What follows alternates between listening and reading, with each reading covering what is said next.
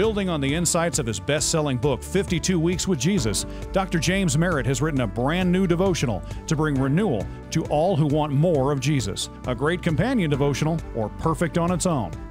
Spend time with the one who changed everything.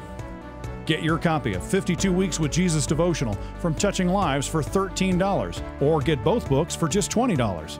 Call 800 413 1131 or go to touchinglives.org. Today on Touching Lives. Every husband is to be a band that stretches around his wife and stretches around his children and stretches around his family and says to them, With every breath I have, I'm going to protect you and provide for you and preserve you because that's what a knight in shining armor does. So you're sitting there and you're saying, Wow, I, that's pretty heavy stuff. Oh, wait a minute. You say, Okay, I, I, I want to lead like Jesus and I want to love like Jesus, but I'm telling you, it's hard. How do you really get there? Teaching people everywhere who Jesus is and why they need him. This is Touching Lives with James Merritt. It doesn't take a lot of work to have a bad marriage. It takes a lot of work to have a good one. And the reason why marriage is hard work is because, first of all, it involves people. Second reason it's hard work is because it involves people who carry into that marriage two totally different sets of expectations. Because here's our problem the vast majority of people that walk into a marriage go into that marriage majoring not on what they want to give to the marriage, but they major on what they want to get out of the marriage. And here's what happens so often. When we don't get from the marriage what we think we should, we quit giving to the marriage what we know we ought. When we quit getting from the marriage what we think we should, we quit giving to the marriage what we know that we ought. When we discover that the marital rose has thorns and the marital road has bumps, and the shining, knight, the shining armor on the knight has lost its luster, and the fairest of them all is not so fair at 7 o'clock in the morning, we tend to do one of three things. One, we lash out. We get into a tug of war over whose expectations are going to be met. We fight on who's going to get their way. And all of a sudden, we wake up one morning and every day's a battle. We're fighting over something different, or sometimes we fight over the same thing over and over and over. And it's like one gigantic tug of war. I'm going to get my way. No, I'm going to get my way. No, I'm going to get my way. No, I'm going to get mine. And all your marriage is is a movement from one conflict to the next. We lash out. Then at other times, we stand down. That is, one person just finally throws up their hands and says, I give up. Go ahead, have your way, whatever. I'm, I'm, just, I'm tired of arguing. I'm tired of fighting. You just go ahead, we'll do it your way. And here's what happens in that situation 100% of the time that person clams up. Communication shuts down. Personal engagement comes to a screeching halt. And the problem with that is personal engagement is what got you married, and personal engagement is what's going to keep you married. So that doesn't work either. So when that doesn't work, finally, too many people take off. We give up, we quit, we file, we abdicate, we negotiate, and we separate. We walk out of the marriage, and then here's the problem. What do we do? We try to find somebody else. Start all over again. Well, that, okay, you weren't the right one. There's got to be the right one out there. And the problem is, you're going to walk into the second marriage with the same stinking baggage you walked in with the first marriage. And the person that you are getting married to, I promise you, they're carrying baggage with them as well. So none of these three things work. Lashing out won't work. Standing down won't work. Walking out doesn't work. So the, the issue is so then what do you do? Well, the reason why these three things don't work is very simple. It's what I told you last week. It's our key takeaway. The key to having a marriage that ends happily ever after is not in finding the right person, it is in being the right person. There's never been a marriage in the history of the world. Listen to this. There has never been a marriage in the history of the world, ever, that did not end up happily ever after when two things were true. When the wife was the wife that God wanted her to be, and the husband was the husband that God wanted him to be.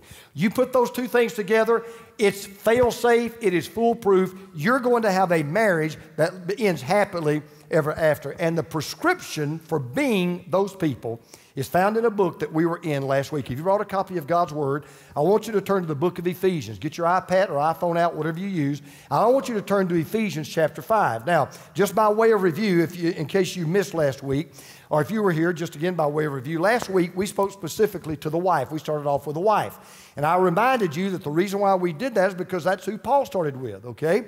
Good news is today it's the husband's turn. All right? Now, before I do that, let me go back and kind of review in case you missed it. When Paul talks to the wife, he says to the wife, if you want to be the wife that God wants you to be, and if you want to maximize your potential to have a happy husband and a happy marriage, he said there are two things you've got to do. He said, number one, you've got to submit to the authority of Jesus. That's the first thing you got to do. You got to get your heart right with Jesus, not to your husband, to Jesus. You got to make up your mind that you're going to you're willing to go to the Lord and say, Lord, I just want to be the wife that you want me to be. That's all. That's my whole goal. So I want to surrender my wifehood to you. You submit to the authority of Jesus. Number two, you support the leadership of your husband. And I told you last week the, mo- the, the, number, the, the, the, the most important thing to a man in a marriage, by far, by far, every survey I've ever read says this number one thing in a marriage, even above sex, is respect. A husband craves respect from his spouse. More than anything else, if she respects me, I can handle anything. If I know I've got her vote of confidence, I can handle anything. If I know she's got my back, I can handle anything. If I know she's behind me, I can handle anything. So now here's the good news for you ladies who were here last week. You, you know, you've been, you've been counting the minutes till this service. Okay, here's the good news. It's important to note that Paul takes more time and Paul gives more space to what he says to the husband than what he does to the wife. As a matter of fact, if you want to count it up, you can do this. He takes three times more verses to say to the husband what he said to the wife. So, gentlemen, start your engines. Because if you do what Paul tells you to do, what I'm going to share with you in this little message, you're going to maximize your potential to have a happy wife. You're going to maximize your potential to have a marriage that ends happily ever after. All right? There are three things. Paul gave the wife two things to do, he gives the husband three things to do. He says, Number one, I want you to lead like Jesus. This is what Paul says. I want you to lead like Jesus. Now, before Paul tells husbands what to do, he tells them why to do it. Ephesians 5, verse 23. For the husband is the head of the wife, even as Christ is the head of the church, his body, and is himself its Savior. Now, I told you last week the word head means, it means authority. However, being an authority does not mean being an authoritarian. There's nothing in the Bible that says a husband has the, wife to the, the, the, right to bully his wife, boss his wife, intimidate his wife, scream at his wife, you know, kind of, kind of, you know, kind of, you know, lord it over his wife. There's nothing in this passage that says you ought to be a drill sergeant. We're to be the same kind of leader to our wives that Jesus is to the church. And I'll tell you what you'll find out about Jesus. Go read the four Gospels. Here's what you'll find Jesus never forced anybody to do anything. He never twisted anybody's arm. He never screamed at anybody, never intimidated anybody, never pulled rank, never forced anybody to do anything. I've been a follower of Jesus for many, many, many years, and every morning I get up with the same attitude in my heart. I lovingly follow him. I willingly follow him. I gladly follow him. I can't wait to follow him because he has never one time ever forced me to do anything. He does not lead that way, he doesn't do that. The way you lead your wife is the way Jesus leads the church. Jesus doesn't bully the church. He doesn't intimidate the church. He doesn't pull rank on the church. He doesn't shove his weight around with the church. But what he did do was this Jesus did, guys, give us the key on how to be the kind of leader that your wife would love to follow. You ready for this? The key to leadership is service. The key to leadership is service. I, I think everybody in this room would agree, I hope you would, the greatest leader who ever lived is Jesus. I mean, he started a movement today that has about 3 billion followers. I'd say that's pretty good leadership, right? I mean, the greatest leader who ever lived. Now, he said something absolutely mind boggling in the Gospel of Mark. In Mark 10 45, Jesus said, I didn't come to be served, I came to serve. Time out. You're the Son of God. Yep. You're the King of Kings. Yep. You're the Lord of Lords. Yep. You created the universe. Yep. You spoke the world into existence. Yep. And I'm not to serve you. No, I came to serve you. I didn't come to be served. I came to serve. You go all the way back to the Garden of Eden when Adam and Eve ate that forbidden fruit and God came calling. Well, who sinned first? Eve. Who ate the fruit first? Eve. Who did God call on first? Adam. Adam, where are you? And let me just tell every man in this room if your marriage is not working out, if your marriage is there's something wrong and it's not really hitting on all eight cylinders, if Jesus comes knocking at the door of your house, your wife may answer the door, but the first thing Jesus is going to say is, Is the husband home? I need to talk to him. I need to deal with him because we are the guys primarily responsible for making sure that that marriage is a happy marriage. Why? Because we're the leader. That's our calling, and we're to lead like Jesus. Well, that raises a question How do you lead like Jesus? Well, the way to lead like Jesus is to love like Jesus. You love like Jesus. Now, husbands, listen very carefully. Paul's already told us what we are. We're the head of the home, right? But now he tells us, okay, you're the leader, guys. Let me tell you how to lead. Here's what we're going to find out Husbands lead their wives by loving their wives. Now, let me tell you what Paul does. He, I, I'm, and I'm glad Paul's doing this, okay? Paul wants us to get it so bad, and he knows some husbands are pretty thick in the head, okay? He understands that. So let me tell you what Paul does. He takes six verses and 105 words to tell us husbands, this is how I want you to love her. This is how I want you to love your wife. And so let's just notice something right up front. Let's get this out of the way. Love is not an emotion, love is an action. It's not a feeling, it's not an, ocean, uh, uh an emotion, it is an act. And verse 25 says it all. Listen, Husbands, love your wives as Christ loved the church and gave himself up for her. And while you're reading that verse, that is not a request, that is not a suggestion, that is in the imperative mood. He said, Husbands, love your wives as Christ loved the church and gave himself up for her. Now, if you had been sitting there 2,000 years ago in this city called Ephesus and you'd been a husband, you would have fallen out of your chair because you talk about something cutting edge. You talk about something absolutely revolutionary. You understand this was a culture where husbands did love their wives, but let me tell you how a husband was expected to love his wife. He loved her with an eros kind of love, an erotic kind of love. He was to have sex with his wife. That's one reason he got married. He would love her with a philos kind of love, a friendship kind of love. He was to be friends with his wife. That is not the word that Paul uses there. He doesn't use eros, he doesn't use philos. He uses a word that we know as agape, and he uses it six times. And agape is the kind of love, now watch this, that you give to someone regardless of who they are, regardless of what they've done, regardless of whether you even like them or not. It is love that is given to the unlovable. It is love that's given to the undeserving. We're not asked to love, we're commanded to love. It's not an act, it is an act of the will, it's not a feeling of the emotion. And this is the kind of love that says, I don't care what you do to me, I'm going to love you. I don't care if I don't like you, I'm going to love you. I don't care if I don't feel in love with you, I'm going to love you. That's the kind of love that he's talking about. And we are, Paul said, we are to love our wives the way Jesus loved the church. Well, that raises a question.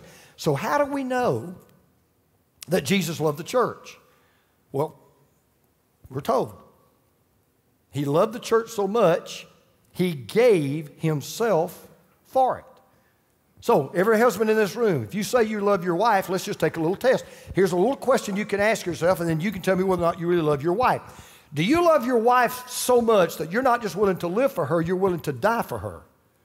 And here's the goal of that kind of love, verse 26. Watch this. This, is this, this, this is so rich that he might sanctify her. This is what Jesus is doing for us, that he might sanctify her, her, having cleansed her by the washing of water with the word, so that he might present the church to himself in splendor, without spot or wrinkle or any such thing, that she might be holy and without blemish. So watch this. This is what Paul said. Jesus said, uh, Paul said, Jesus loves the church so much. Here's what he's doing right now. While I'm standing on this platform, here's what he's doing. Jesus is working overtime to help us to be what we need to be and to help us to become what we ought to become. Husband, let me tell you something. Your number one job as a husband is not to get your wife to be the wife you want her to be. That's not your job. Your number one job as a husband is not to force, intimidate, manipulate, talk her into giving you what you want out of that marriage. That's not your job. Your number one job as a husband is to help your wife be everything that God wants her to be and to become the person that God wants her to be. Your job is not to drag your wife down, your job is to build your wife up. And then you know what Paul does? He just keeps digging deeper. Look what he says in verse 28. In the same way, husbands should love their wives as their own bodies. He who loves his wife loves himself. Now that's kind of weird. Why does Paul bring our bodies into it? I mean, all of a sudden he's talking about marriage. Says, oh, by the way, guys, while we're on the subject, how about your body? How about just loving your wife like you love your body? Why does Paul say that? Because Paul knows that health, our health, the health of our body, is foundational to everything we do.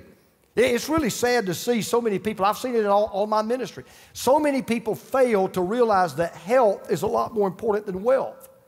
And someone has observed that too many people spend all of their health trying to accumulate their wealth, and then they spend all of their wealth trying to get their health back. And, it's really true. And if you put your happiness ahead of your health, you'll be unhappy. And, and, guys, there's one thing all of us in this room have in common. Let's just be honest. We love our bodies. We do. Because every day, there's one thing we make sure we do for our bodies every day. We make sure we satisfy our bodies. So when we're hungry, we feed it. When we're full, we burp it. When it's thirsty, we water it. When it itches, we scratch it. When it's dirty, we bathe it. When it's tired, we rest it. When it's bored, we entertain it. And we don't mind sacrificing anything for the good of our body. And so Paul comes along and says, Hey, I got an idea, guys. Why don't you love her like you love you? Why don't you love your wife like you love your body? You, you'll get up early in the morning and go hit the gym. You'll, you, you, you love her, you know, you, you'll get up in the morning and you'll go do this exercise or that and you'll watch this. You'll, why don't you love her like you love your body? And then Paul just goes even deeper, verse 29. For no one ever hated his own flesh, but nourishes it and cherishes it. Big words.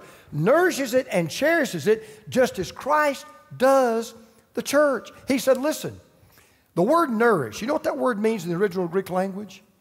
It's the word that's used for the way a mother looks after a baby. The word cherish, you know what that word means? It refers to a bird's nest. It refers to the way that a mother bird looks after her chicklets. It, it, it was, it was just, it, it, sometimes was used for the word body heat, the way a mother would warm her chicklets. And what Paul is saying is, guys, your love for your wife means two things. You're going to provide for them, you're going to protect them.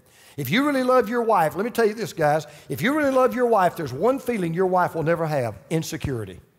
There's one thing your wife will have every day of her life. She will be stable and secure. She's go, she'll know, I know you're going to provide for me. I know you're going to protect me. By the way, you guys ever thought about what the word husband literally means? You know where that word comes from? The word husband comes from the Anglo Saxon word house band. Every husband is to be a band that stretches around his wife and stretches around his children and stretches around his family and says to them, With every breath I have, I'm going to protect you and provide for you and preserve you because that's what a knight in shining armor does. So you're sitting there and you're saying, Wow, I, that's pretty heavy stuff. Oh, wait a minute. You say, Okay, I, I, I want to lead like Jesus and I want to love like Jesus, but I'm telling you, it's hard. How do you really get there? Well, the way you lead like Jesus and love like Jesus is you live like Jesus. Now, we're going to wrap this up. Watch this. About the time you think you get Paul figured out in this passage, he just takes off on a whole different tangent. Now, watch this. He's talking about marriage, and now in the very next verse, he makes a beeline to the book of Genesis. He says in verse 31, Therefore, therefore, what do you mean, therefore? You've been talking about a man and his body. A man shall leave his father and mother and hold fast to his wife, and the two shall become one flesh. Now, let me ask you a question. Why does Paul go all the way back to the first marriage? This is talking about the first marriage. Why does Paul go all the way back to the first marriage to talk about our marriage? Okay? You remember I told you that I was going to tell you two things that I want you to remember if you don't remember anything else I say. I've already told you the first one. Doesn't take a lot of work to have a bad marriage, takes a lot of work to have a good one. All right. Here's the second one I'm going to tell you. You won't understand your marriage if you don't get what I'm about to tell you. And you won't understand why marriage, every marriage is a big deal to God if you don't understand what I'm about to tell you, though. This is big. Marriage is a covenant relationship. I'm going to explain that. But marriage is a covenant relationship. Paul says the husband is to hold, you see those words, hold fast?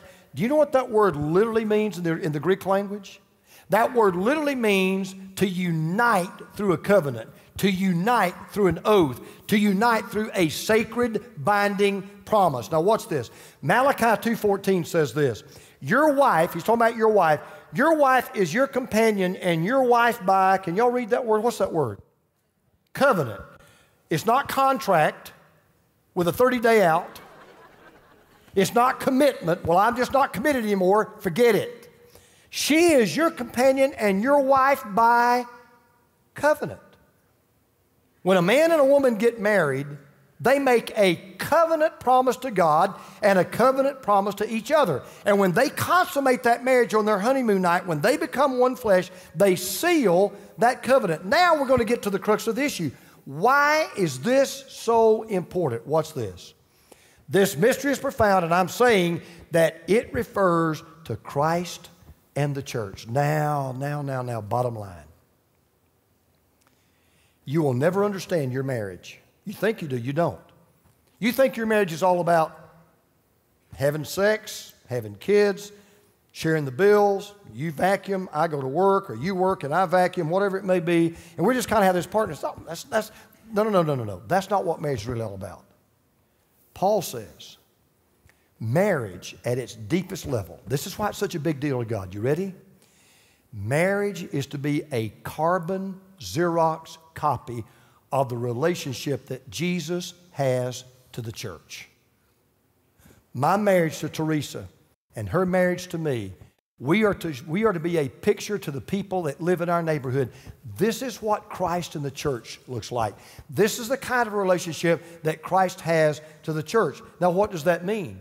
Well, here's where we're going to really get to it. Why do we even have a church? Why are we even here today? Why is it that I have a personal relationship with God. Why do I have eternal life? Why have I been forgiven of all of my sins? Why do I know that if I were to drop dead on this step right now, I know beyond a shadow of a doubt that I would be in heaven with God? Why do I know all those things? Only one reason God keeps His promise. God keeps His covenant. When God makes a covenant, God keeps his end of the bargain. When God makes a promise, he keeps his promise. You go all the way back to the Old Testament. God makes a covenant with Adam. God makes a covenant with Abraham. God makes a covenant with Moses. God makes a covenant with David. He said, I promise you guys, I promise you, I'm going to send someone that's going to redeem you. I'm going to send someone that's going to forgive you. I'm going to send someone that's going to change you. I'm going to send someone that's going to allow you to have a permanent relationship with me. And what Paul is simply saying is this just like God keeps his promise, we ought to keep ours. So here's how Paul concludes this whole matter. Listen to this.